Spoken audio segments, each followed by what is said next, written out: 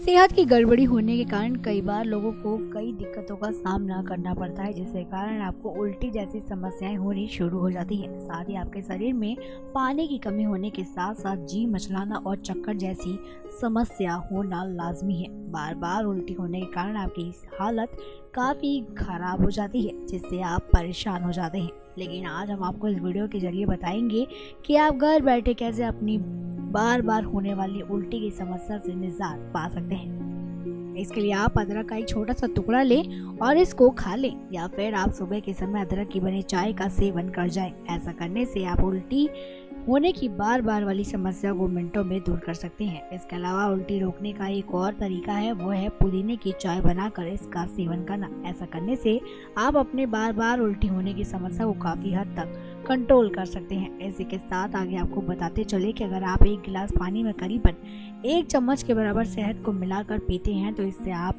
अपनी होने वाली उल्टियों को रोक सकते हैं। क्यूरन हेल्थ से रानी की रिपोर्ट।